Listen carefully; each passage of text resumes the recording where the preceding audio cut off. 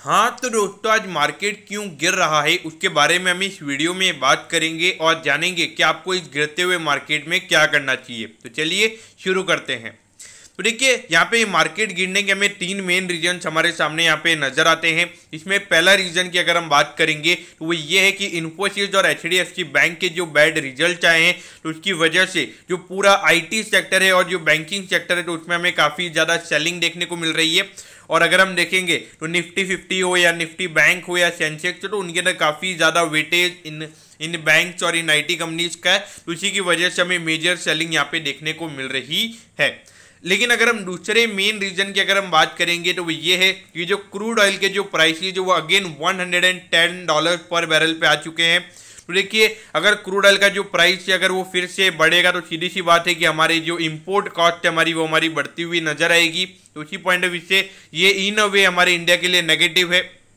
तो ये एक और रीज़न है जिसकी वजह से हमें थोड़ी सेलिंग मार्केट में देखने को मिल रही है। और अगर हम तीसरे मेन रीज़न की अगर हम बात करेंगे तो जो यूएस का टेन ईयर का बॉन्ड डील्ड है तो उसकी प्राइस अगर हम देखेंगे मतलब उसकी जो इंटरेस्ट रेट है, वो अभी 2.86 परसेंटेज पे आ चुकी है। यानी कि अराउंड 34 या 35 टाइम्स के पी रेशियो पे वो रेट आ चुकी है। तो उस पॉइंट ऑफ़ व्यू से अगर आप देखोगे तो हमारे इक्विटी की जो अभी अगर हम बात करेंगे, अगर हम निफ्टी फिफ्टी के पी रेशियो की बात करेंगे तो अराउंड सत्ताईस से अट्ठाईस का पी रेशियो हमें निफ्टी फिफ्टी का नज़र आता है तो वहाँ पर अगर आप देखोगे अगर जो debt as an asset class अगर उसकी उसका पी रेशियो अगर थर्टी फाइव टाइम्स है तो सीधी सी बात है कि वहाँ पे ज़्यादा लोकेशन हमारे जो इंस्टीट्यूशनल इन्वेस्टर्स है वो वहाँ पे लेंगे। तो ये तीन मेन रीजन अगर आप देखोगे तो पूरा आ, देखा जाए तो मार्केट के लिए ये नेगेटिव है तो उसी की वजह से हमें यहाँ पे सेलिंग देखने को मिल रही है। तो मेरे ख्याल से ये चीज़ें आपको पता होनी चाहिए।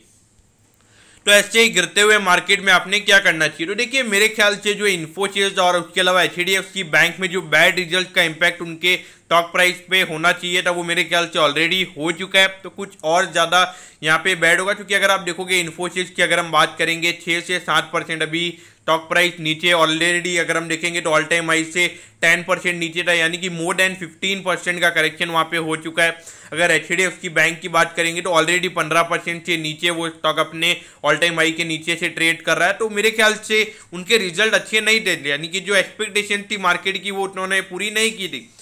लेकिन फिर भी अगर आप देखोगे तो इतने भी बुरे रिज़ल्ट नहीं थे, ऐसा तो है नहीं कि कंपनी बंद हो जाएगी। तो पॉइंट ऑफ़ व्यू से देखा जाए तो जो बुरा होना चाहिए था, वो मेरे ख्याल से हो गया तो और ज़्यादा बुरा मेरे ख्याल से यहाँ पे नहीं होगा।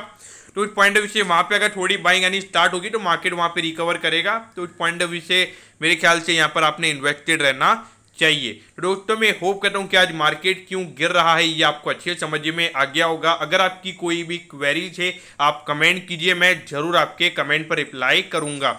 ओके दोस्तों thank you have night day